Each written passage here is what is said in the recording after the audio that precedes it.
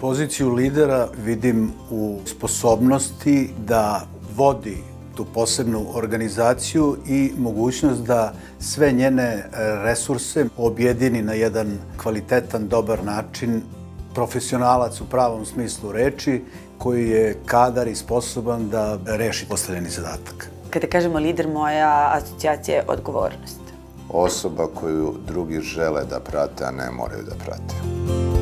Plašim se da još uvek je asocijacija da je to neko ko, ko je prenosilac poruka. Još uvek smo relativno daleko od nekoga ko bi zaista onako nastupao samostalno, imao svoje ovlašćenja, imao neko svoje i ja i neki svoj stav povodom pitanja iz, iz oblasti u koju, za koju odgovor.